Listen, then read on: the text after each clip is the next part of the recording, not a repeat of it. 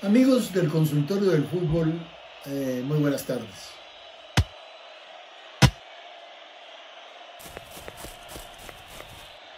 El médico había visto jugar a Marino el Pintuco Aguirre, un delantero del Deportivo Cali. Muy buen delantero, pero un hombre con muchos problemas disciplinarios, un jugador de esos que uno dice jodido, difícil. Eh, sin embargo, lo cita el médico a un, un cuadrangular, un triangular aquí en Bogotá, River, Santa Fe y Millonarios. La junta directiva le advierte, médico no vaya a meter a Pintuco Aguirre, que ese señor no es del plantel. Pero Gabriel le ha prometido a Pintuco que le iba a meter, y por encima de su palabra no había nada. Desatiende las instituciones de la Junta Directiva de Millonarios y mete al Pintuco Aguirre contra River pues simplemente le costó el puesto. Roberto Valencia, que era el presidente, le mandó una carta en la cual le manifiesta de que le había advertido que no pueda meter a Pintuco y que a partir de ese momento ya va por fuera de la institución. El médico, dentro de un poquito de soberbia, porque pues él era un hombre muy justo y lo que sea, pero tenía su, su, su rachito de soberbia, simplemente su personalidad, su modo de ser, determina que se va y se fue se marchó. Chao Millonarios. Ahí Millonarios se dio cuenta de lo que había perdido. El Caimán Sánchez asume como técnico del equipo y consigue el título del año 64. Es Efraín Sánchez el campeón del 64 y no el doctor Ochoa. Pero para 1965, la Junta Directiva de Santa Fe se la juega. Lo llaman, hablan con él. Médico, usted es un hombre de fútbol, nosotros queremos que usted llegue, venga a Santa Fe. Confiamos en que puede presentarnos un proyecto interesante. Le pidieron un proyecto y se lo presentó. Y llega a Santa Fe. En el 65 con él llegan la feria aquella de los la furia, la fiebre de los brasileños. Claudio Honor Cardoso, Suárez, Liviño, eh, Joao Carlos, que ha estado con él, como les dije, en América de Río, Newton López, Liviño, la ERTE, en fin, cinco jugadores del Raúl de Cardoso, cinco brasileños con los cuales él confía, armará un equipo para pelear el campeonato. Juega el torneo normalmente, regular, al final las cosas no se le dan como él quería. Y para 1966, el médico hace algo que no ha hecho nadie en la historia. Saca 24 jugadores de Santa Fe, oígame bien, 24 y contrata 23. Definitivamente era un paso eh, soberbio, él quería cambiar el equipo, él no, se, no aceptaba de que quienes estaban con él ya eran veteranos, jugadores que todavía no daban la talla, entonces cambió todo el plantel, o casi todo. Dejó muy poco, llegó Marlorenzo de Bani, un goleador extraordinario, llega Delio Maravilla Gamboa, llega Marino, Marino llega el año 67, bueno, contrata un montón de jugadores que con Cañón y con los que estaban en Santa Fe hacen un equipo muy, muy, muy, muy importante, muy bueno, un equipo muy bueno. Y ese equipo gana el campeonato.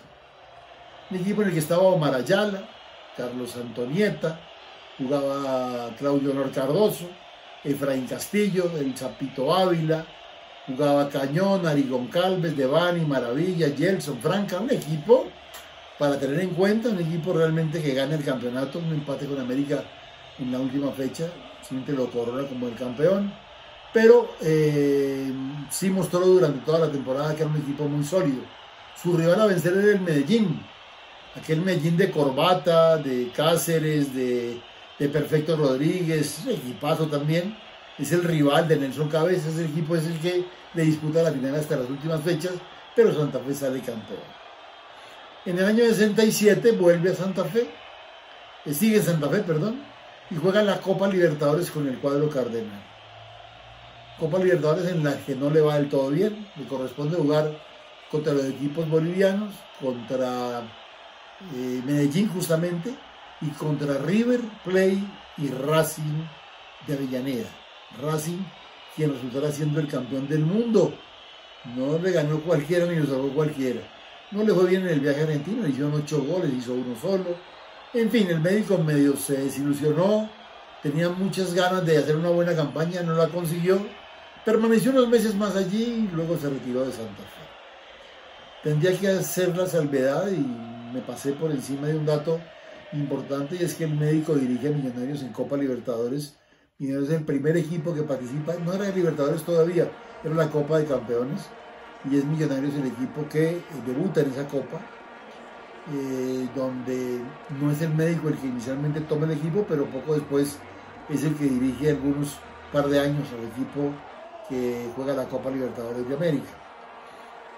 Eh, después de la salida de Santa Fe, deja el fútbol un tiempo y retorna a Millonarios en la década del 70. Lo convencen, pues de trasegar, de ir y venir y tal, tal, tal. Y el médico Ochoa se vincula a Millonarios nuevamente. A su club, donde ha conseguido cuatro estrellas como campeón, donde ha conseguido hasta ese momento cuatro estrellas, cuatro en ese momento, con, eh, con el cuadro embajador como técnico y saldría a buscar la quinta estrella con Millonarios. Y sería la última. Ustedes recordarán al Millonarios de Ortiz, Bran y Morón.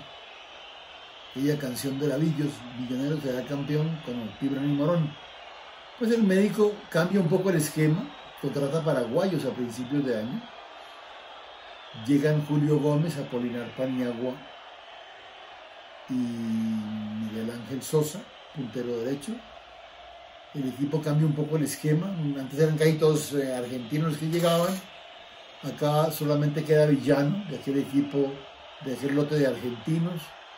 Queda Villano y bueno, uno con Ortiz, Bran y Morón, con una defensa muy sólida, con Chonto Gaviria, con Euclides, con Pérez González, con, Arturo Segovia, en fin, arma un, conseguimos que en el arco, arma un equipo realmente maravilloso, un equipo que pone a gozar a la gente en Bogotá, pone a ese Millonarios otra vez en los primeros planos. Había conseguido su último título en el año 64 con el Caimán. Habían pasado varios años, 7, 8. Esa estrella Millonarios la anhelaba y la buscaba, pero no, no se le daba. Hasta este año, este año 72, cuando Millonarios consigue de la mano del médico un equipo fantástico, jugadores parecía Willington Ortiz, Alejandro Brand se confirmaba, Morón hacía goles. Ese equipo conseguía esa estrella tan anhelada de Millonarios. Bendito Dios se dio. Una tarea titánica, toda una carrera hasta acá, hasta este momento, donde el médico ha entregado todo, donde ha conseguido muchos títulos y donde demostraba simplemente que era el mejor. Tendremos otra entrega, si Dios quiere. Hablaremos del resto del médico, del resto de su carrera. Un hombre que merece un homenaje. Un abrazo para todos.